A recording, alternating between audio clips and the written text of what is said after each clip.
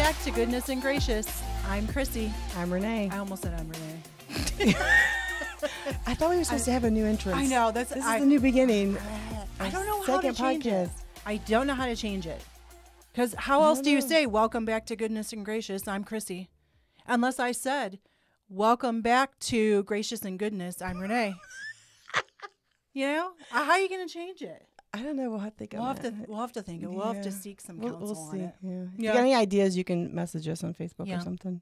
I mean, I mean, yeah, da, da, da, da, da, da, Well, I we don't said I was going to bring a pogo stick in for you, Mm. but you were gonna bring a pogo, pogo stick in for me. I yeah, I told you I wasn't going to do it. You said you would. Did I? I thought so. I'm gonna have to go back and listen because I don't ever remember agreeing to that. I'm sure ever. that's what you said. I'm sure of it. well, in our last episode, we talked about because it's still January yes. uh, resolutions, um, and more importantly, being resolute. Uh, we mentioned some of the people from the Bible that stood out as being resolute Daniel, his friends, and Paul. Um, I put gum in my mouth, and I really shouldn't have done that. So you guys, oh, yeah, I'm, I'm going to be doing Spit it out now. I nope, I'm put not it doing it. Put it in one of their cups. Swallow it. Did you swallow it? no.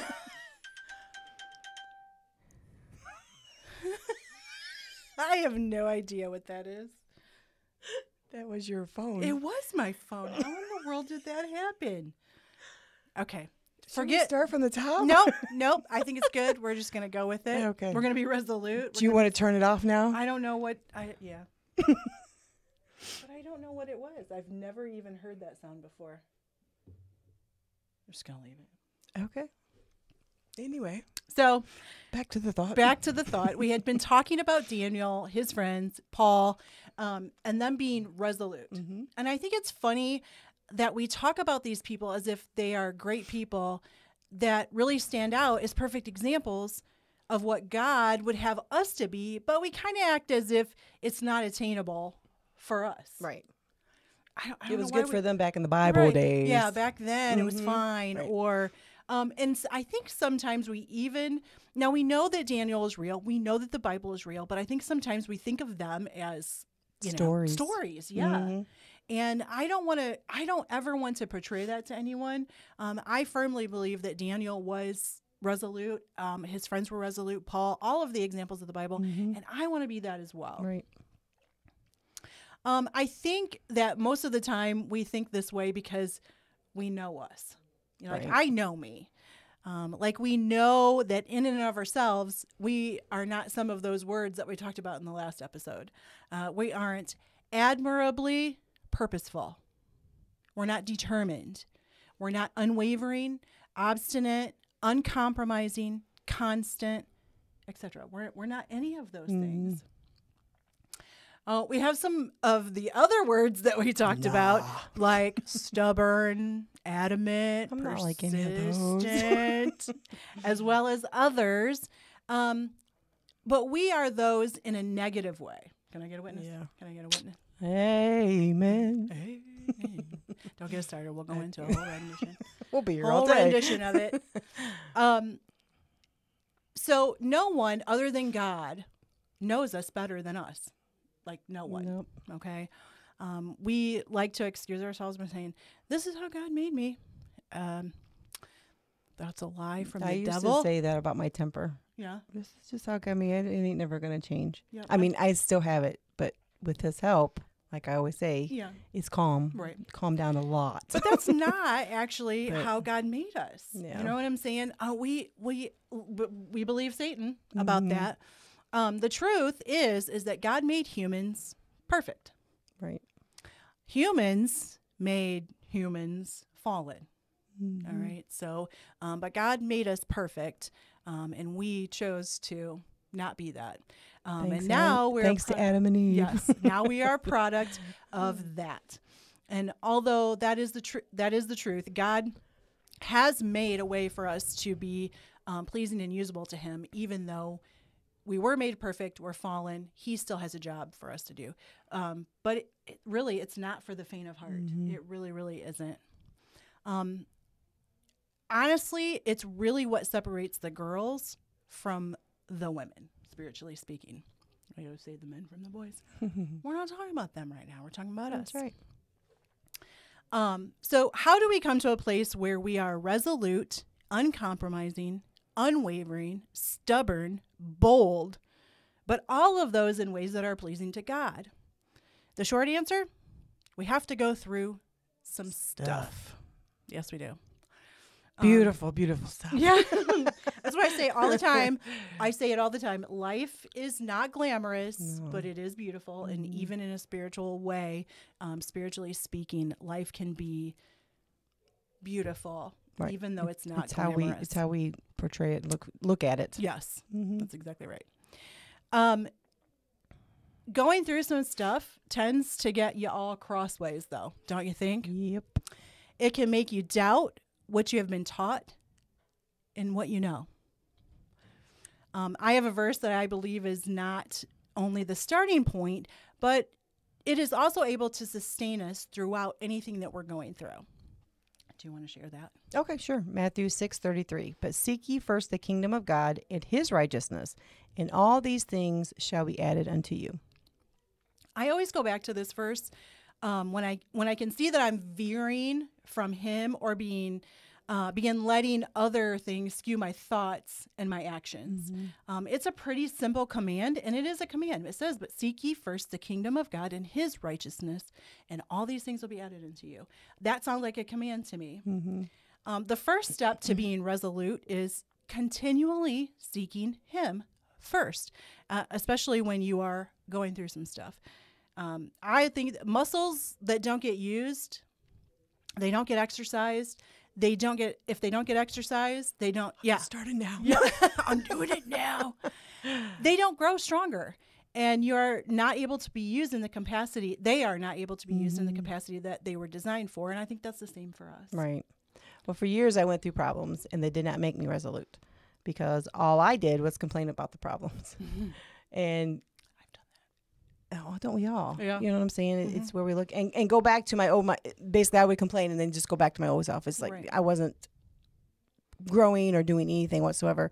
But then I started seeking the kingdom of heaven, like you talked about, first by reading, praying, growing closer to God, which is what we're supposed to be doing. Right. And then as I go through the problems, they help me become resolute. Not that I'm a- arrived, I'm striving, like we always say. are, yeah. It's definitely no fun going through the problems.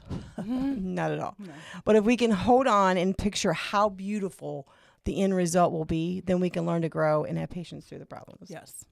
But the Um, key is to get us to I mean say say we're sitting there counseling someone or whatever and they're going through this problem.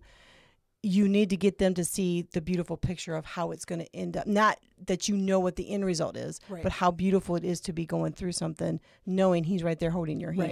And when you're going through that problem, that's like the farthest thing that you want someone to be telling you. Right. It- you're exactly right. but that is really, really. I think that be, changes as we grow, as we Yeah, get closer yeah. to him, though.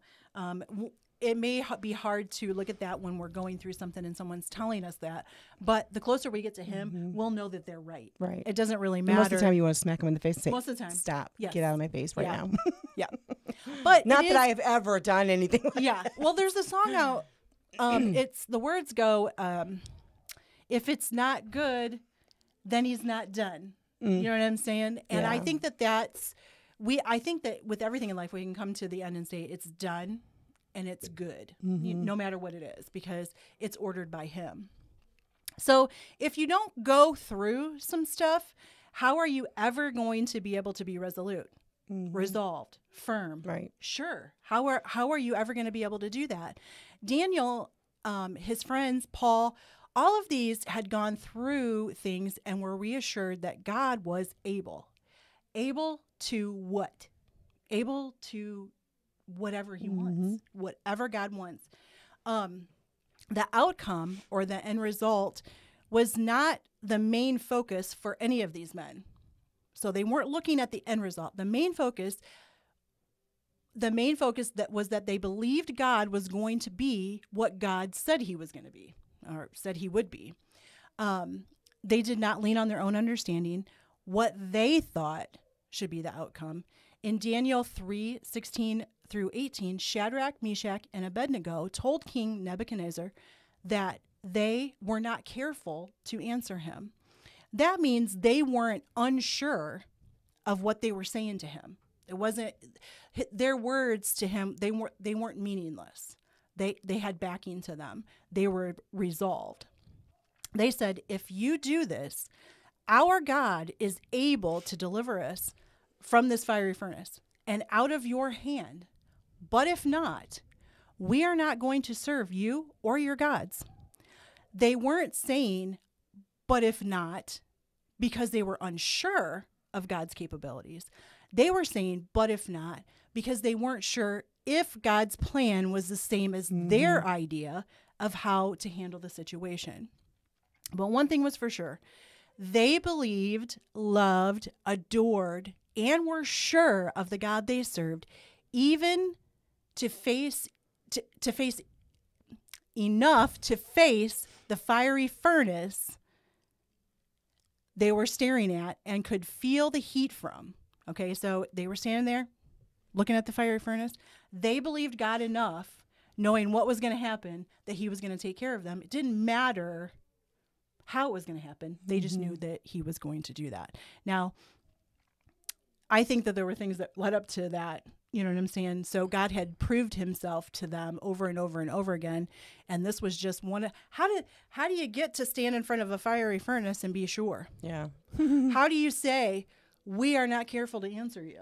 You know what I'm saying? I Because they knew their God. Yeah, exactly. Yeah. But it takes going through some stuff to be able to be firm and resolute in Right. that. Are we sure enough of God to face the same thing with But what's the resolution? song? Um, I've been through enough to know Yeah. he's going to be an he'll, he'll Yep. take care of me. Yes. It's like, but then another trial arises, Yeah. and we're like, oh my gosh, Yeah. what are we gonna do? What Didn't are we he- gonna do? Didn't he take care of you the first time around? Didn't Right. he take care of you the second time around? But we always fall right back into that. Yes, we do. Oh, woe is me. What am I gonna do? I agree with that. I think we're all guilty of that.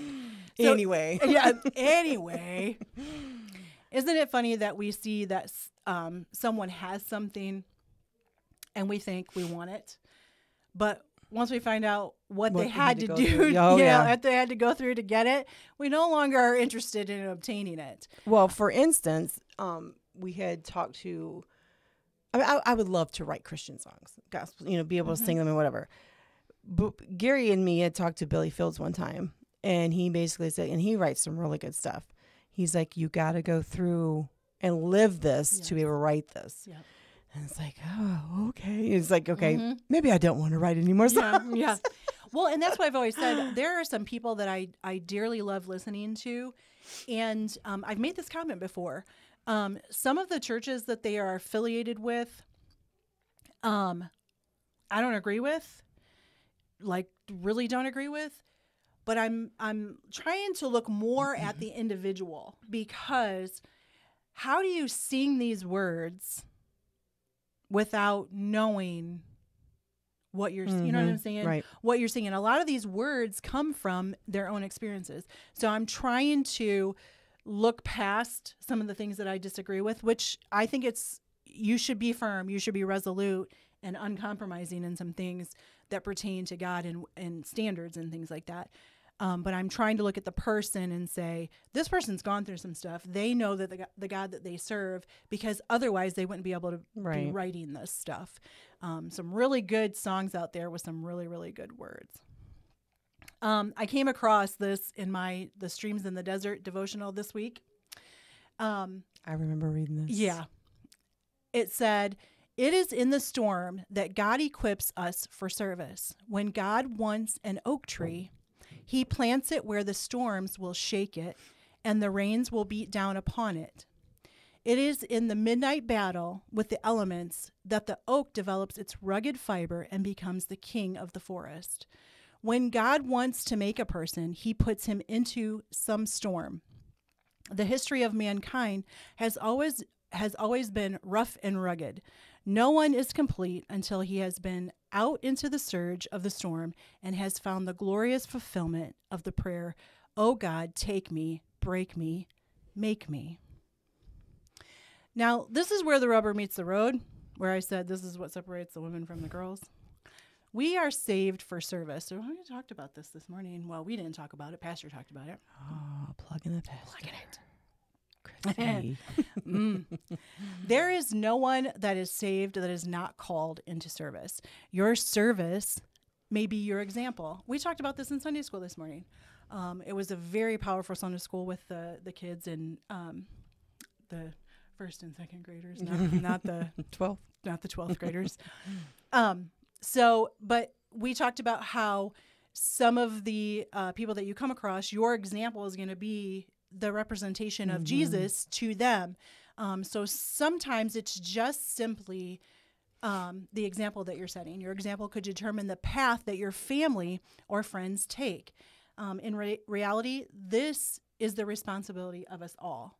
Um, so I think we're all saved um, for the service of being an example. Um, it is not enough to have the outward appearance appearance of being resolute. That's not going to last. Um, you have to be actual. You have to actually be conditioned or exercised, and that means trials. Um, I came across this verse, James one, um, two, two through four. Do you want to share that with them? Okay. My brethren, count it all joy when you fall into diverse temptations, knowing this, that the trying of your faith worketh patience. But let patience have her perfect work, that ye may be perfect the, and entire, wanting nothing. I love that. Um, I feel like this is a perfect picture of Daniel and the gang. Daniel and the gang. I named them. and Paul. Um, they wanted for nothing. They had all they needed in the truth that God is who he says he is, and that was enough for them. Um, we like to think, well, they were lacking. They didn't have this or they didn't have that. Or, you know, Paul, he was, you know, he had a rough way to go. But the truth is, is he had everything that he needed in the truth that God was who he said he was. Um, sometimes all it takes is that one tragedy Mm-hmm. to come upon you for you to go back to the base which the base was seek ye first um, for you to learn and be sure that god is enough. Right. okay sometimes um, some of us have to go through several things you know over and over and over again but sometimes it's just one thing you know? So being resolute and learning how to do that um, and and the thing that jolts us back to um, the matthew 633 is just one thing sometimes it takes more than that so none of us Does are the it, does same it on that. depend on how hard-headed you are? Uh, I think so. I think it. I think it really, really does depend on how um, hard-headed, hard-hearted. Yeah.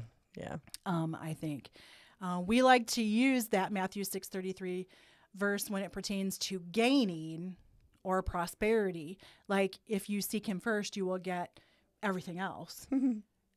I have to say that it pertains to all things. Um, when sickness comes, when tragedy strikes, when your kids are wayward, when you are unsure what the future holds, when times are good, when there is heat in the house and food on the table. You can put your own when in there. When we are seeking his kingdom and his righteousness continually, in the good times and the bad, we will be resolved in the love, guidance, faithfulness, all of that that pertains to God, that is God. Right. How to best have that? Oh, yeah. Mhm, mhm. End of story. Okay, done. We're done. Let's go. well, when I was writing for the podcast, to me, it's like how to be resolute. It was it was like a, a no brainer, I guess, in my in my little simple mind. so no matter what comes our way, we cleave to Jesus, and nothing can draw us away from Him. Right. But it is a day a day to day process. I think, Yes. Unfortunately, just about everything in our Christian walk is a day to day process because we have to beat the flesh down. Yeah. you know. Daily. Yeah, Yes. Satan is going to throw darts at us at all the time. That will not change until we go to heaven, unfortunately. But how to how to avoid these darts hurting us and making us turn our flesh and not to Him is the key to be resolute in everything. Yeah. So the steps to this would be digging into His Word constantly, singing or listening to songs of praise, which is one of my really big go tos Yeah, when. You know, not that I don't read and pray. I'm not saying that, but a lot of times it's like crank up the music. you know what I'm saying? Yep. Attending and being involved in church, not just attending, but being involved. Right. That that to me is huge. Yes. Um, praying, even have some friends that you can turn to that can help you help you out, um, give you maybe some good biblical counseling or whatever. Yep. If you are digging into His Word, You will know when Satan's darts are thrown at you, and you can use his word to get through it. Believe me, this is a, this is uh, tough at times, but God doesn't change. His word doesn't change, and His word is something we can stand on that is not wavering. Exactly. Now, I don't want to give the impression that if you are resolute in God, that you will do everything right all the time. Mm, No, Uh, definitely don't want to do that because you won't. right. Um, but it's very important to point out that God has made a way for you to do things right the first time, every time. We do have the choice, which is another thing we talked about in Sunday school this morning. David was called a man after God's own heart, but by God himself. We all know of the mistakes that David made. And when I say mistakes, they're sins, okay? But David learned of the faithfulness of God every with every mistake and grew from them.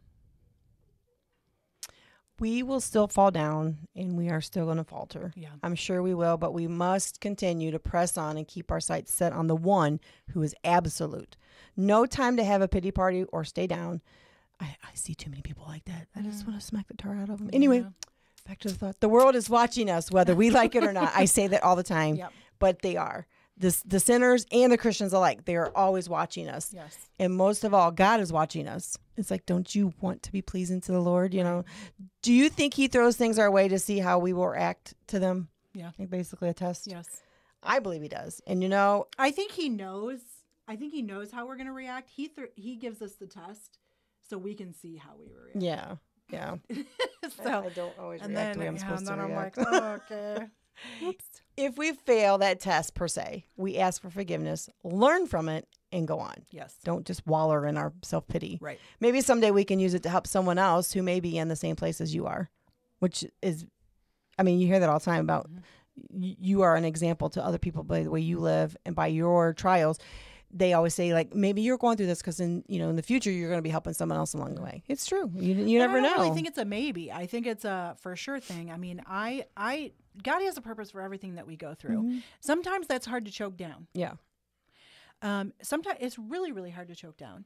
I mean, when you have things going on with your kids, when you have things going on in your marriage, when you have things going on in your finances, there is a purpose for every single thing that God allows in your life. Because I've always had the saying, He's either allowing or He's causing. Right. That's what I've always said.